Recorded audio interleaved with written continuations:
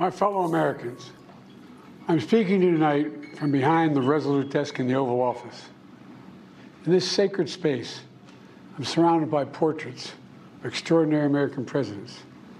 Thomas Jefferson wrote the immortal words that guide this nation. George Washington, who showed us presidents are not kings. Abraham Lincoln, who implored us to reject malice.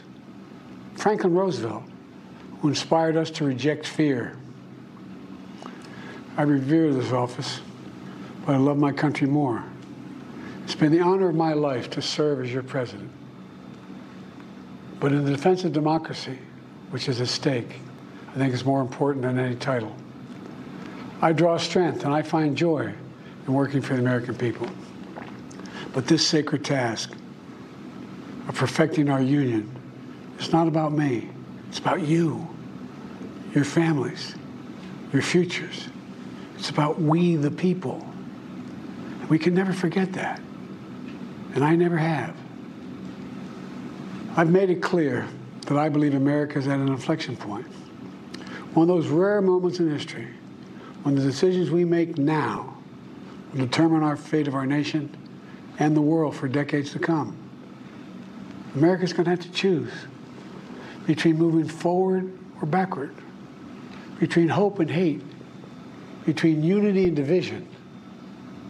We have to decide do we still believe in honesty, decency, respect, freedom, justice, and democracy? In this moment, we can see those we disagree with not as enemies, uh, but as, as um, fellow Americans. Can we do that? Does character in public life still matter? I believe I know the answer to these questions because I know you, the American people. And I know this we are a great nation because we are good people. When you elected me to this office, I promised to always level with you, to tell you the truth. And the truth, the sacred cause of this country is larger than any one of us. And those of us who cherish that cause cherish it so much, a cause of American democracy itself, must unite to protect it. You know, in recent weeks, it's become clear to me that I need to unite my party in this critical endeavor. I believe my record as president, my leadership in the world, my vision for America's future all merited a second term. But nothing, nothing can come in the way of saving our democracy. That includes personal ambition.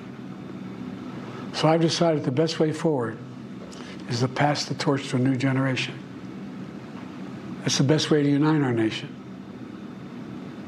You know, there is a time and a place for long years of experience in public life.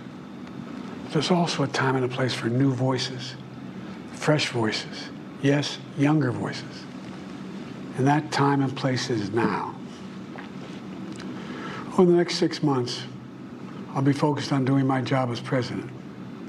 That means I'll continue to lower costs for hardworking families, grow our economy, I'll keep defending our personal freedoms and our civil rights, from the right to vote to the right to choose. I'll keep calling out hate and extremism. Make it clear there is no place, no place in America for political violence or any violence at ever, period. I'm going to keep, keep speaking out to protect our kids from gun violence.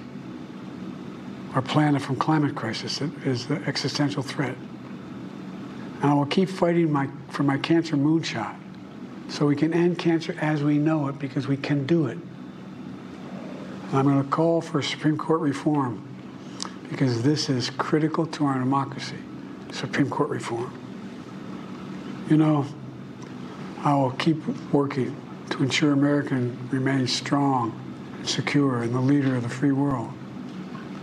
I'm the first president in this century to report to the American people that the United States is not at war anywhere in the world.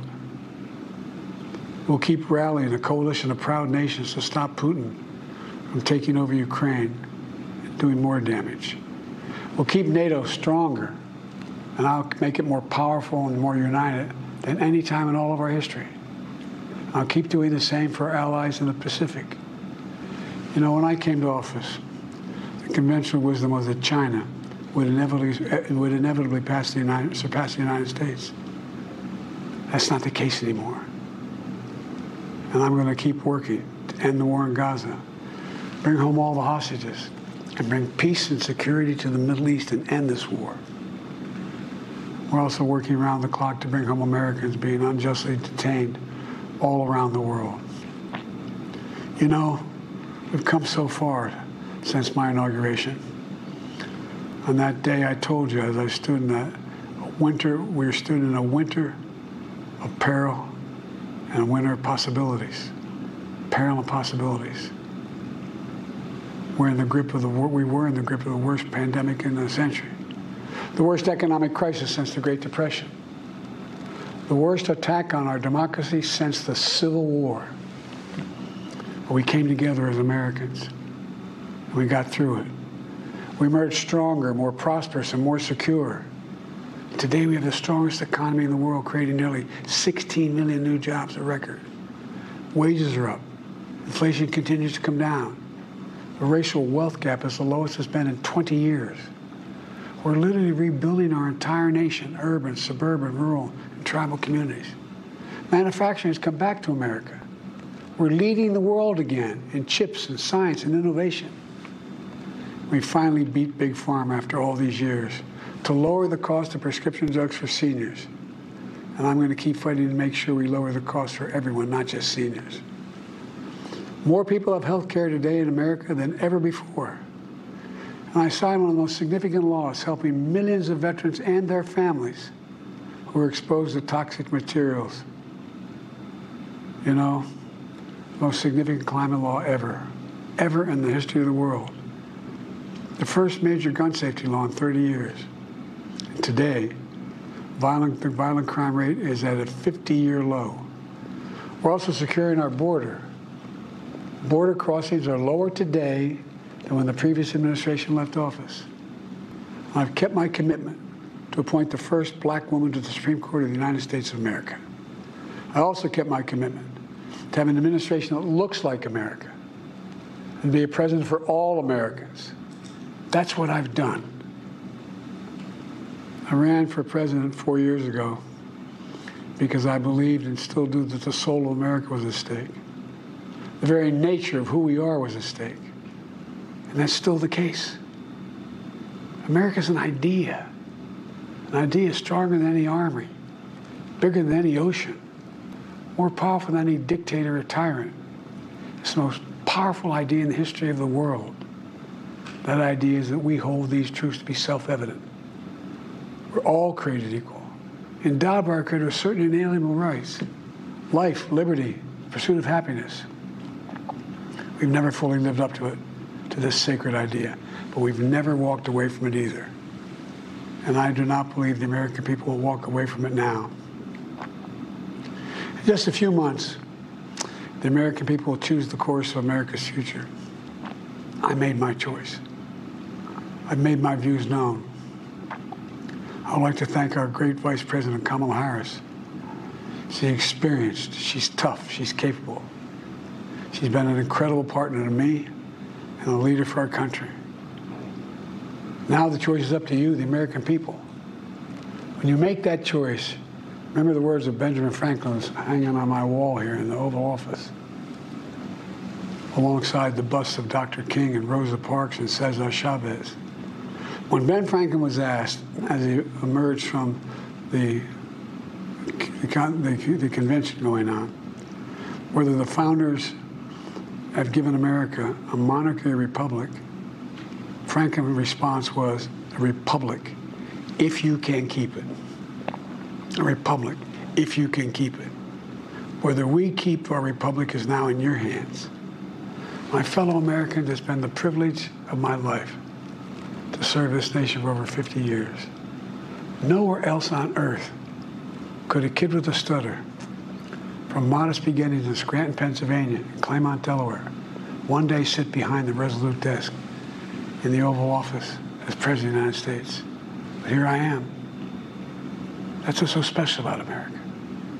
We're a nation of promise and possibilities, of dreamers and doers, of ordinary Americans doing extraordinary things. I've given my heart and my soul to our nation, like so many others. I've been blessed a million times in return with the love and support of the American people. I hope you have some idea how grateful I am to all of you. The great thing about America is here, kings and dictators do not rule, the people do. History is in your hands. The power is in your hands. The idea of America lies in your hands. We just have to keep faith, keep the faith, and remember who we are. We're the United States of America. And there's simply nothing, nothing beyond our capacity when we do it together. So let's act together, preserve our democracy. God bless you all, may God protect our troops. Thank you.